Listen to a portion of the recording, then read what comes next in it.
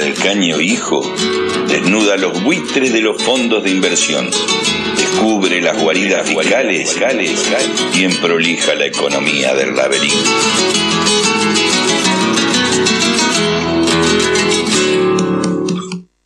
Esta semana empezamos a repasar los primeros resultados de la política económica del gobierno de Javier Milei. El primer eh, resultado que examinamos eh, fue la inflación.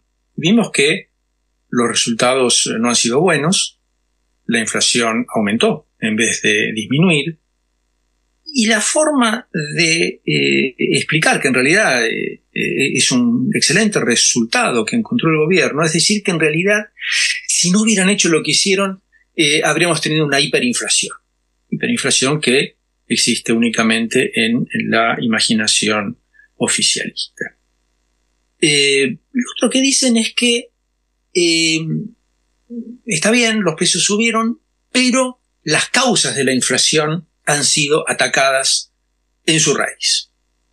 La raíz para eh, la concepción económica, monetarista de eh, Javier Milei es la emisión monetaria que a su vez depende, según él, únicamente en el déficit fiscal. Entonces, si se acaba con el déficit fiscal, se acaba con la emisión, y si se acaba con la emisión, se acaba con la inflación.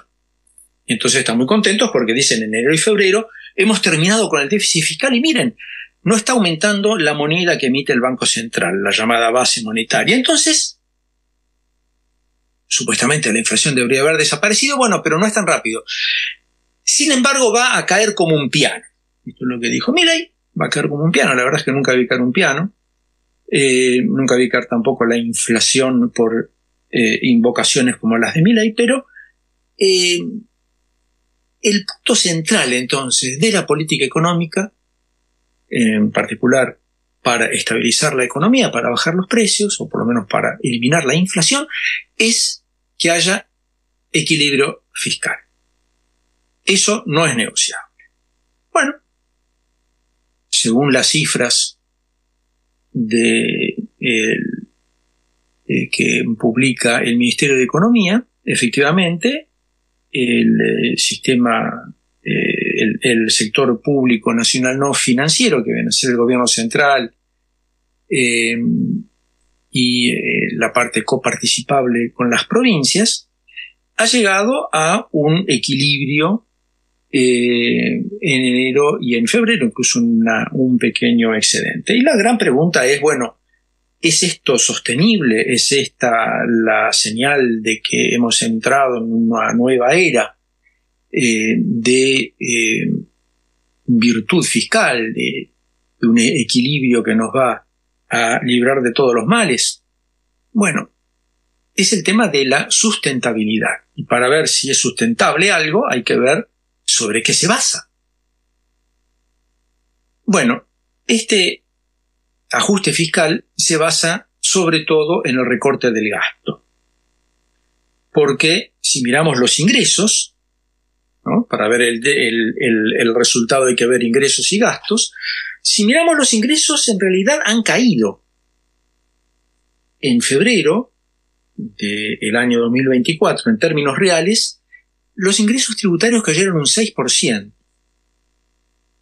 ¿Y por qué? Bueno, porque cayó el impuesto a las ganancias, cayeron los aportes a la seguridad social, cayeron los eh, impuestos sobre bienes personales, los impuestos internos, cayó el IVA vinculado con la actividad económica.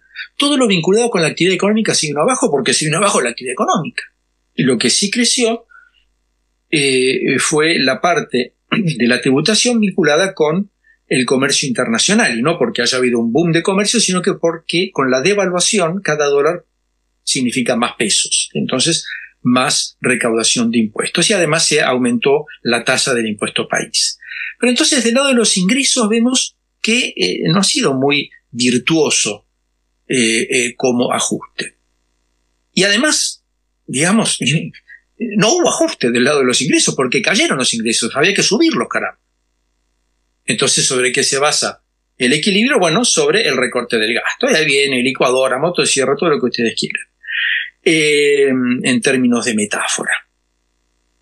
en términos reales, que es lo que significa que los gastos primarios, es decir, dejando de lado el pago de intereses de la deuda, se derrumbaron un 36%. cayeron los subsidios económicos, cayeron las transferencias a las provincias, una barbaridad, cayeron el 86%. Se eliminaron todas las transferencias vinculadas a la educación, cayeron las transferencias a las universidades. Los gastos de capital cayeron un 88%. Pero el rubro que explica el grueso del recorte del gasto público es el de las prestaciones sociales. Y es lógico, porque las prestaciones sociales eh, eh, representan más de la mitad del gasto fiscal. Eh, pues bien, las prestaciones sociales cayeron un 30% en febrero de 2024 respecto del año anterior, y de esas prestaciones sociales, la más importante es la de las jubilaciones y pensiones contributivas, que se hundió un 38%. El gasto en jubilaciones, en términos reales, se hundió un 38%, y las no contributivas, no contributivas un 42% en términos reales. Entonces, lo que está clarísimo para todo aquel que no quiera mirar por otro lado, es que la mayor contribución al ajuste fiscal la están haciendo los jubilados. No es la casta, no son los ñoquis, ni siquiera los planes sociales. Son los jubilados. Y el tema es ver qué es lo que piensan hacer hacia adelante. Porque, por un lado, es difícil mantener jubilaciones de miseria sin pagar un alto costo político, pero si se remediara esta gran injusticia, si se le devolviera a los jubilados al menos parte de lo que perdieron en estos últimos años, entonces hay que decirle adiós al déficit cero, a menos que tomen otras medidas fuertes del lado de los ingresos, por ejemplo, que los ricos pagan impuestos. Bueno, recordemos cómo llegamos a esta situación. Viajemos en el tiempo, a inicios de la convertibilidad, allá por marzo del año 91, la jubilación mínima, que es para la que tenemos una serie larga, estadística, la jubilación mínima era de 120 pesos. En agosto subió a 150 pesos y se quedó en ese nivel, 150 pesos, durante 12 años. Recién en julio del año 2003, recién asumido Néstor Kirchner, hubo un primer aumento del haber mínimo jubilatorio eh, y después se fue ajustando más. Ahora, en esos 12 años hubo una caída muy fuerte del poder de compra de las jubilaciones. Durante la convertibilidad cayó un 20% y en la salida de la convertibilidad, entre fines del 2001 y mediados del 2003, cayó otro 24%. O sea, prácticamente la jubilación en términos reales se dividió por dos respecto del comienzo de la convertibilidad. Con los gobiernos kirchneristas hubo una recomposición del haber mínimo jubilatorio, a lo que se agregó además la posibilidad de acceder a una jubilación a mucha gente que no había podido cotizar eh, eh, durante su vida activa. Son las llamadas moratorias previsionales. Y de ese modo, los saberes mínimos jubilatorios reales se multiplicaron durante los 12 años del kirchnerismo por 3,5, o sea, más que se triplicaron. Desde niveles bajos, pero el hecho es que eh, realmente se recompusieron en términos de poder de compra. Estoy hablando del mínimo. El mínimo que cobra es cerca del 60%, dos tercios de, de las personas. Las otras jubilaciones crecieron bastante menos. Pero bueno, lo que se trató de hacer en un momento dado, a partir de una ley del año 2008, fue que los aumentos se hicieran automáticos. Las jubilaciones entonces aumentaban cada seis meses en función de la evolución de la evolución de los salarios y de la recaudación impositiva. En un marco en donde se suponía que los salarios iban a seguir creciendo, que la recaudación iba a seguir creciendo, el asociar las jubilaciones no a los precios pasados, sino que a la evolución del salario, la evolución de la recaudación, era tratar de hacerles, de hacer partícipes a los jubilados de las mejoras que iban a venir en el largo plazo. Y es por eso que al Fondo Monetario Internacional no le gusta indexar las jubilaciones en el largo plazo por los salarios o por la recaudación, porque no quieren que aumenten en términos reales. Eh, en el año 2017, Mauricio Macri cambia la fórmula, elimina el componente de recaudación y, deja un 70% de toda la inflación, 30% a los salarios. Se va ajustando cada tres meses, pero con un rezago de 6, o sea que si la inflación se acelera, eh, los jubilados van a perder. Y ahí perdieron, perdieron por dos vías. Una, por la aceleración de la inflación, y este rezago se ajusta a las jubilaciones con una inflación pasada más, más baja que la actual, pero también porque en el momento de hacer el cambio de fórmula, le pegó un guadañazo, como quien no quiere la cosa, y entonces las jubilaciones arrancaron con un escalón más bajo. Y de este modo, durante el gobierno de Macri, el haber mínimo jubilatorio cayó un 21% en dos años, entre noviembre de 2017 y noviembre de 2019. El gobierno de Fernández, en un primer momento, introdujo aumentos por decreto. Y después volvió a la fórmula de ajuste automático que retomaba la idea básica de la ley del 2008, pero con algunas mejoras técnicas.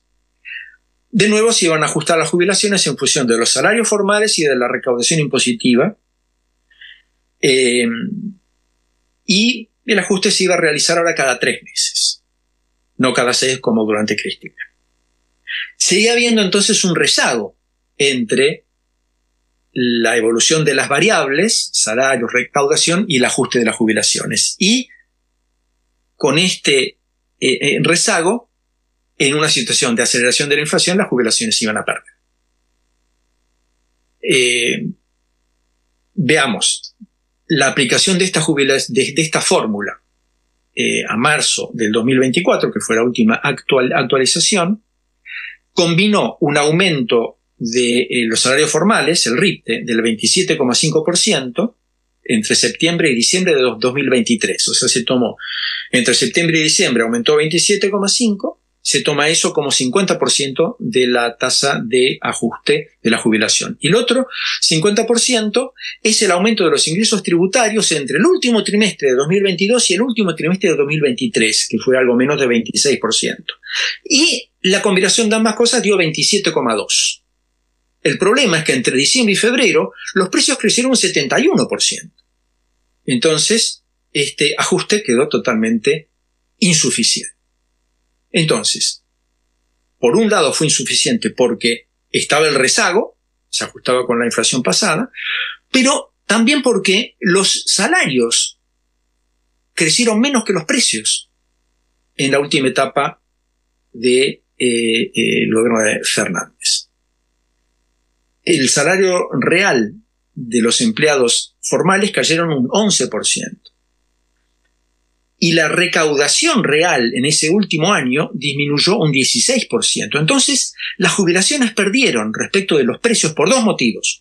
Uno por el rezago respecto de la inflación pasada, que era eh, menor que la corriente. Pero no menos importante, también perdieron porque estaban indexadas a variables que estaban perdiendo como en la guerra contra la inflación y entonces el haber jubilatorio se vino barranca abajo. Este, esta caída fue compensada para los haberes mínimos durante Fernández con bonos.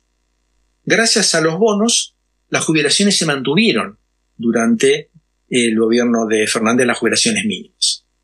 Pero sin el bono hubieran caído mucho.